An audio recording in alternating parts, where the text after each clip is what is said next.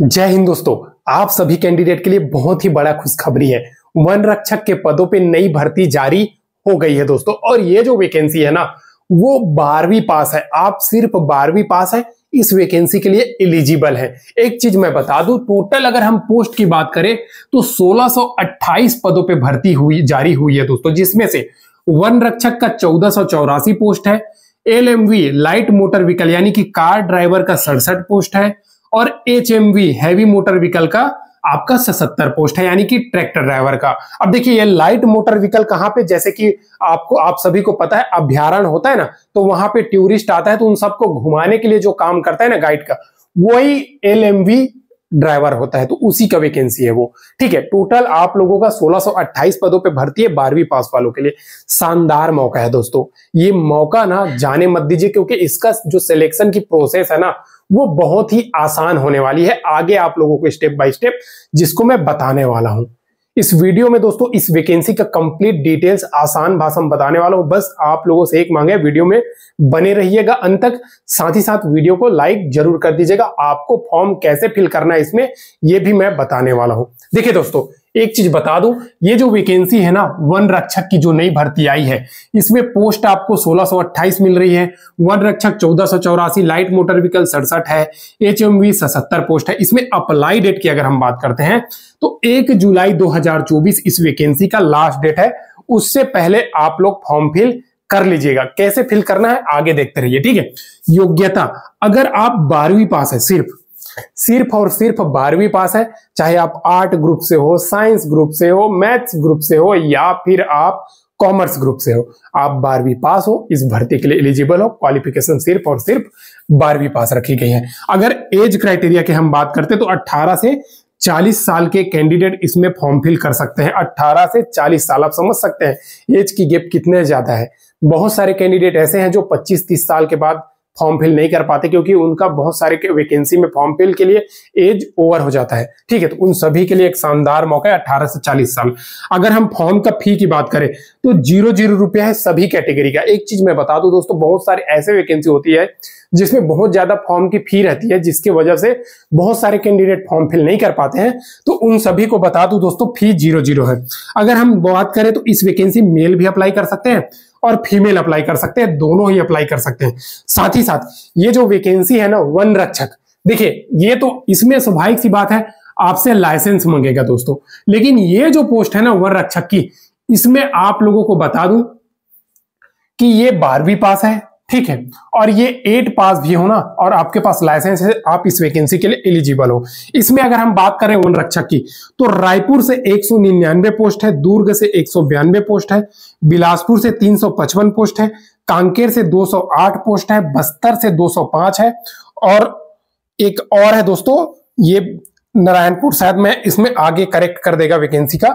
ये दो सौ पंचानवे है। टोटल मिलाकर के चौदह पदों पे भर्ती आई हुई है। ये संभाग समझ लीजिए, एक एक जोन होता है। उस जोन के अंतर्गत पूरा बटा हुआ है दोस्तों, ठीक है? ये कांकेर, बस्तर, ये बिलासपुर, इसी प्रकार से वहाँ पे भर्ती निकाली गई है। ठीक है, अगर हम इस बारहवीं पास भर्ती में चयन की प्रक्रिया जानते हैं कि इसमें सिलेक्शन कैसे होगा तो सबसे पहले तो आपका पीएचटी और पीईटी e होगा, इसी के साथ आपका डॉक्यूमेंट वेरिफिकेशन होगा।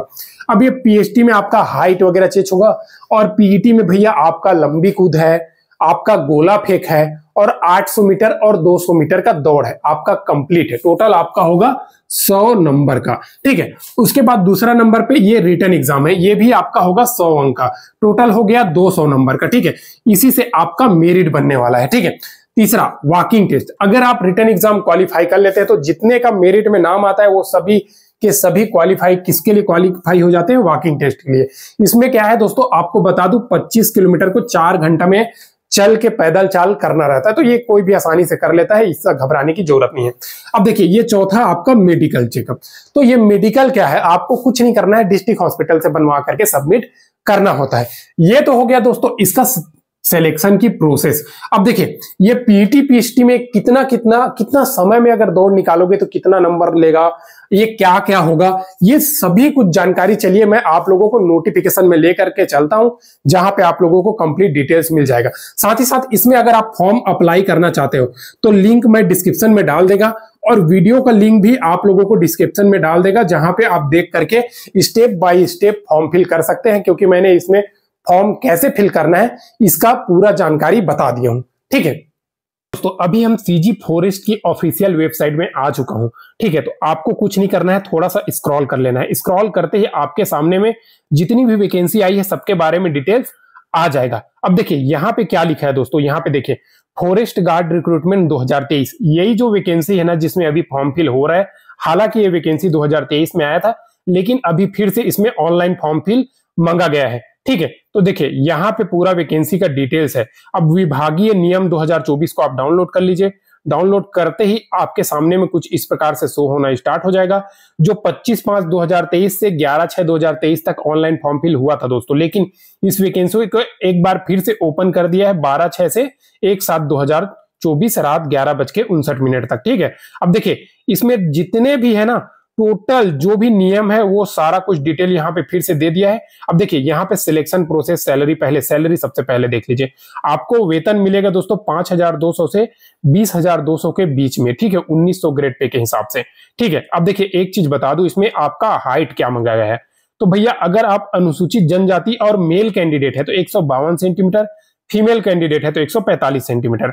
और अन्य है, जैसे कि आप एससी हो, बीसी हो ईडब्ल्यू एस हो, यूआर कैंडिडेट हो एक सेंटीमीटर आपका होना चाहिए और फीमेल में 150 सेंटीमीटर। अब सीना का सामान्य, अब देखिए आपका चेस्ट कितना होना चाहिए, जैसे कि आपका अनरिजर्व कैटेगरी मतलब एससी हो गया एससी को भी अब चेस्ट में अनरिजर्व रखा जाता है तो एससी ओबीसी ईडब्ल्यूएस और यूआर आपका 79 सेंटीमीटर चाहिए, ठीक है? और सीने का फुलाव भैया पाँच सेंटीमीटर होना ही चाहिए। ठीक है, अब देखिए, ये जो वैकेंसी है ना, इसमें हालाँकि ये छत्तीसगढ़ वैकेंसी है तो छत्तीसगढ़ वैकेंसी में एक फ़ायदा है आप लोगों का, जो पीईटी e होगा, जो दक्षता परीक्षा है, वो आप लोगों का सौ अंक होगा।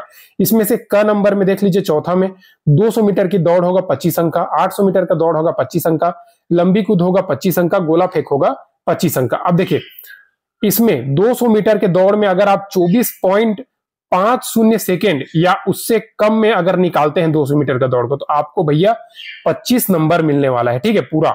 और उससे कम में आप देख सकते हो पच्चीस चौबीस पॉइंट पाँच एक सेकेंड से पच्चीस पॉइंट फाइव ज़ीरो सेकेंड तक आपको दो अंक बीस अंक मिलेगा। इसी प्रकार से पूरा कम होते गया महिलाओं में भी अट्ठा, आपको क्या करना है 200 मीटर को अट्ठाईस पॉइंट फाइव ज़ीरो सेकेंड या उससे कम में निकालोगे तो आपको पच्चीस अंक मिलेगा। देख सकते हो, टोटल डिटेल्स यहाँ पे दिया हुआ है।